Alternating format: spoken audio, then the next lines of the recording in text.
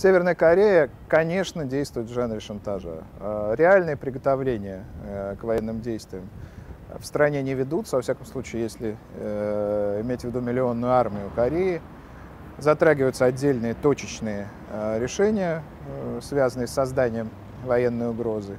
Я думаю, что большинство игроков мировых понимают, что это шантаж, и это действия направлены на